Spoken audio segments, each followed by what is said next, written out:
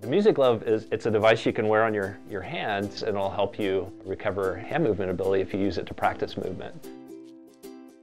And what it does is it senses when you make different grips, like a key pinch grip or a pencil grip, and then you use that uh, to play a really engaging musical computer game. So you're essentially practicing these grips and playing music as you do it. Um, so it's a very engaging way to get better at moving your hand. I don't use computers. It was a piece of cake.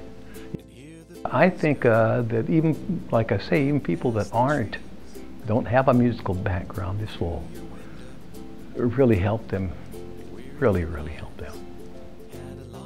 In traditional rehab, you actually get a pamphlet of exercises to do at home.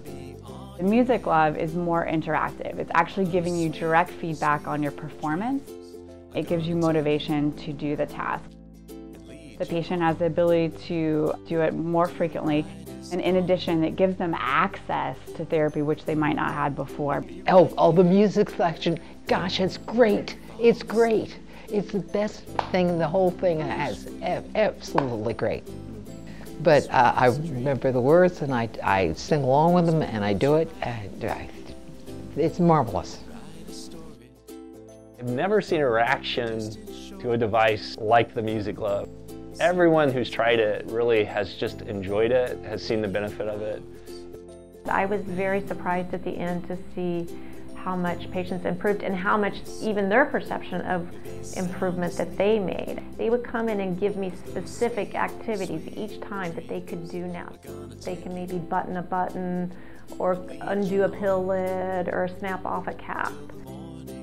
Those are the small things that really in therapy we don't have time and we can't address to the extent that the Music Glove can cover.